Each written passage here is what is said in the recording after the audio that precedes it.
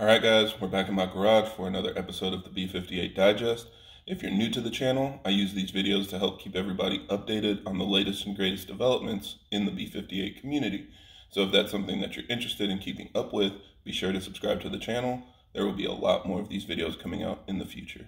So today's topic comes from Vargas Turbo, and they released an update that their GC Mid and GC Plus have arrived. They're back in stock and ready for shipping that I thought this would be a good opportunity to talk about the GC mid because I haven't discussed it on the channel yet. And I do feel like this is something that maybe some people would be interested in. So Vargas, of course, has two different options, the GC and the GC Plus. But recently they added the GC mid for two port Supras. Now it's only available for two port. Somebody asked when the six port versions were coming out and they said 60 to 90 days. So I'm not sure if that's like a hard deadline or if they're just saying that so people stop asking, but eventually it'll come for six port cars as well. So this is just another hybrid option from them. The GC is just the cold side replacement that goes into your stock manifold. The GC Plus is a full replacement where they have a bigger cold side and a bigger hot side with the full manifold and everything. And then the GC Mid kind of drops right into the middle. And if you go to their website, you can see the pricing is pretty much right in the middle, but it's kind of hard to tell why the GC Mid is needed or who that's marketed for.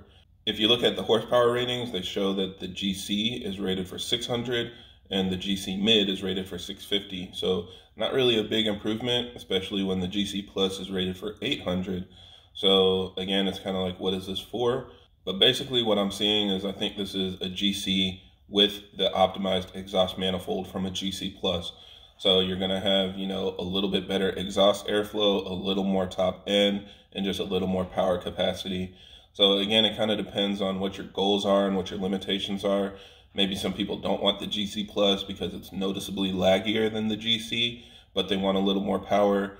Maybe you're like me and you like having, you know, an intake and exhaust properly matched because the GC is really not the best way to get a hybrid out there, you know, and getting that optimized exhaust manifold with bigger runners and everything just designed for higher flow is a better way to use a hybrid and it'll just make it more efficient.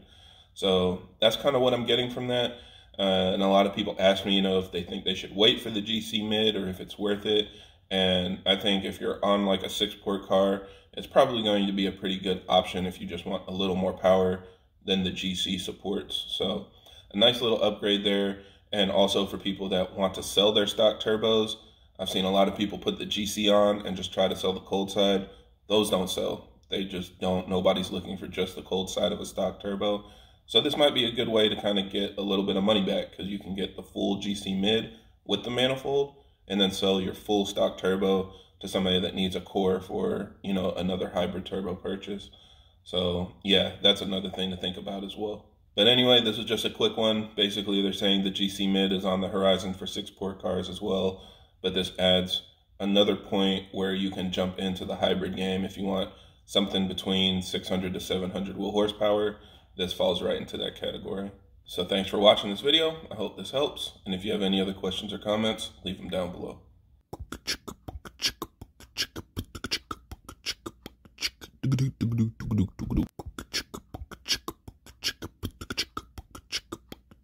do